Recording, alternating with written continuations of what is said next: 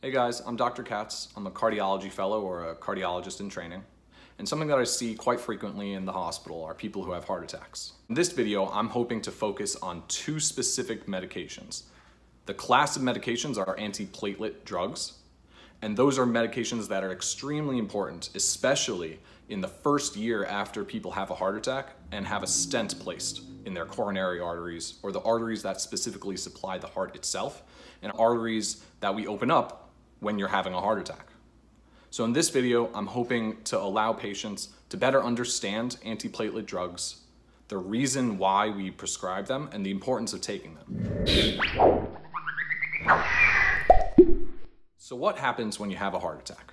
In order to understand that, I'm going to take a step back and describe the process of atherosclerosis, or the buildup of plaque within the arteries of the body itself. Over years, atherosclerosis can build up inside the artery walls and cause narrowing of the arteries. Atherosclerosis is normally composed of fat, cholesterol, and calcium. And over years, it can become prone to rupture and become unstable. When that plaque ruptures, it kind of exposes the underlying endothelium or the lining of the artery wall itself to your bloodstream and to platelets.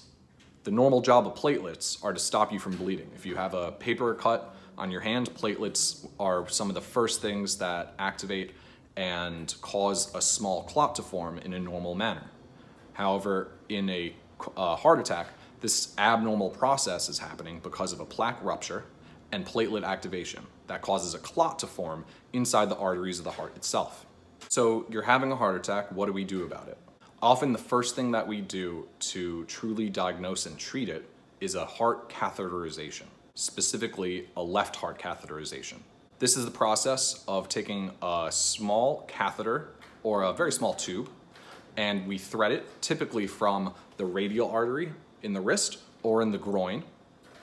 And we puncture the artery, gain access to it, thread a catheter or this tube up to the uh, aorta, and we go to the two arteries that are the first ones to come off of the aorta, and those are the coronary arteries. Again, those are the arteries that supply the heart itself.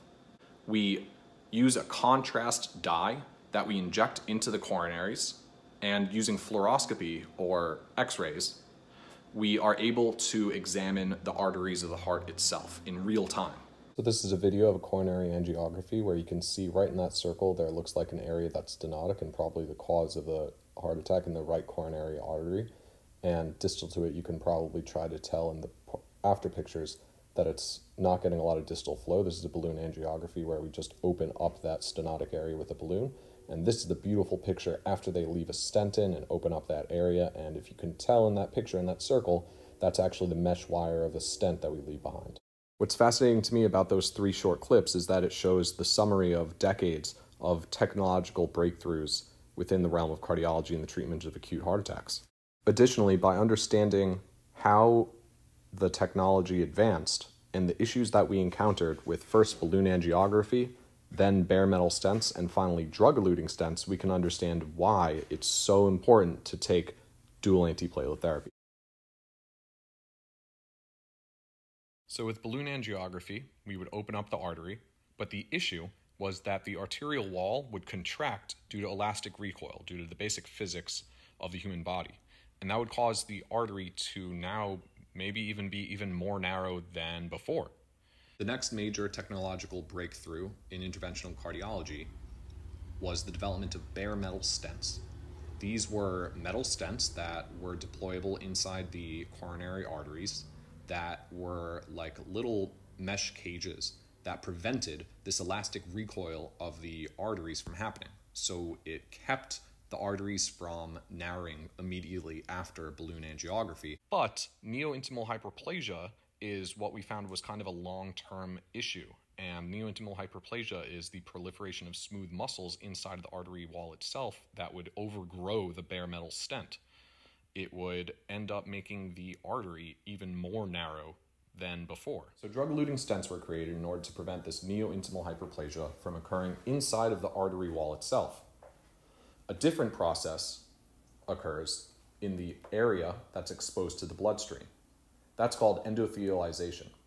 And drug eluting stents fixed one problem, the long term restenosis, but it also caused another, where it exposed the struts of the metal of the stent itself to the bloodstream. And this increased the risk even more of in stent thrombosis or clots from forming. And that's really the end all be all of why we give dual antiplatelet therapy. Dual antiplatelet therapy is composed of aspirin and one of the following other drugs Plavix or clopidogrel, Brilinta or ticagrelor, and Effient or prasugrel. Medications like aspirin, Plavix, and Effient are all once a day, and Brilinta is twice a day. So be sure to take it as directed. Often, when drugs are given twice a day, it's simply because they don't last in the system long enough for you to be only taking one pill. So if you have questions about how frequently or when you should be taking your medication, please ask your doctor. Now, I know that after you have a heart attack, you're often started on a lot of new medications. And the good thing that I can reassure you about dual antiplatelet therapy is that you won't be on both of these drugs forever. Often, you'll be on both of the dual antiplatelet drugs, aspirin and one of those other medications I listed before, for only the first year. After that, we discontinue one of those drugs and we continue you on aspirin for the rest of your life. Every patient's different, and this is the general guideline that we follow. Your doctor might come up with a different plan, but overall, the reason why we might change that is because we always have to weigh the risks and benefits of any medication. The benefit of taking dual antiplatelet therapy for the entire year, and sometimes after that one year, is that it increases the chance that that stent stays open. But we have to weigh that with the fact that being on dual antiplatelet therapy is going to increase your risk of bleeding. And that leads me to the most common side effects that's seen with these drugs. Most commonly, you're going to bleed. These are often nuisance bleeds, though, and the reason why I call them nuisance bleeds is that they're not life threatening. The most common bleeds that happen on dual antiplatelet therapy are going to be nosebleeds, sometimes GI bleeds. So be prepared that if you do get a nosebleed, it might take a little bit longer for you to stop bleeding. Likewise, if you cut yourself, you're going to have to apply pressure a little bit longer. And be aware that if you notice dark tarry stools or bright red blood in the toilet bowl, let your doctor know. We want to hear if you're having GI side effects or maybe bleeding in the gastrointestinal tract.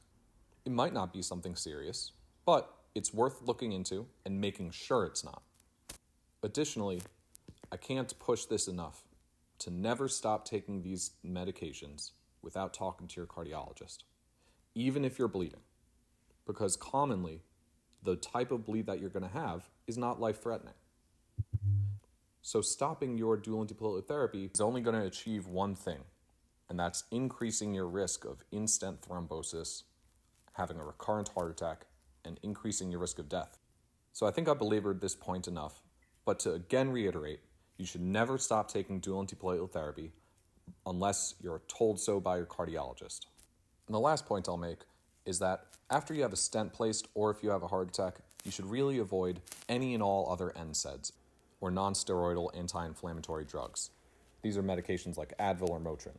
So if you're ever having some minor aches and pains or a headache and you need something over the counter, I would opt for Tylenol first. So I hope this video helped you better understand dual antiplatelet therapy and why you're on these medications and why you should not stop them until you talk to your cardiologist. On top of that, now if your family ever asks you why you're taking these medications, just send them this video and have your doctor explain it to them.